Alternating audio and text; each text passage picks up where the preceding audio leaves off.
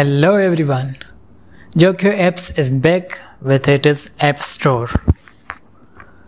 So first of all, let me give you a quick overview to the project. I've already shared this project two times. So let's call them revision 0 and revision 1. And this is third time. Let's call it revision 2. So revision 0 and revision 1 was backwards compatible for example if you have posted uh, an app from new admin panel it will be visible to both versions of the app store. But this version is not compatible with them. So if you are using one of these old projects you have to repost all your apps again. Reason behind that it is i have restructured uh, the project and uh, change it some keys. Why do i need to restructure the project? Because previous was really complicated. This one is with neat and clean code less effort easy to configure. And this version is more simpler version. I've removed some features but this admin panel is more powerful. It has more features. It can show you a list of all apps you have published. You can delete them. It will show the number how many apps you have. You can edit previously posted apps.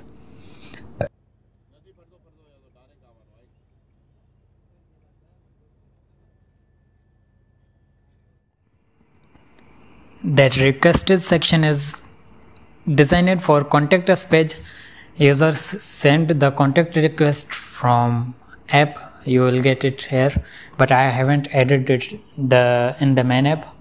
If you want to utilize it you have to do it by yourself. And the remember promo codes we have added in previous app? We have them in this admin panel also but uh, the algorithm is a little bit different and I haven't added them in the main app too. If you want to utilize them, you have to do by yourself. And you can also send the update from admin panel and then that update our main app compares that number for example we have set 1 and you are whenever you release a new version in the main app project there is the update section here. You have to increase on data changed and edit event. Both events you have to increase that number with each version by one. First version is zero second one third two that way. And whenever you release new version you also change the number in database by, from admin panel. So every user who have a version with smaller number will get that dialog for update. This admin panel also supports multiple files upload but they will not show as separate games they will be like uh, uh, apk and data. Okay? And uh, previous version was a more like um, was more look like of play store. This is different. It has a different downloader. Previous was used to use firebase downloader. This downloader is based on async task eventually it is better because we don't have to inject anything. And we can pause and resume downloads.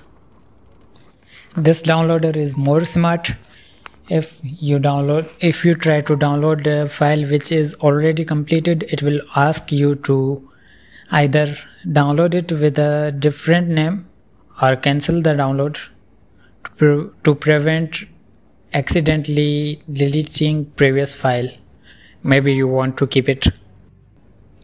You can see that text.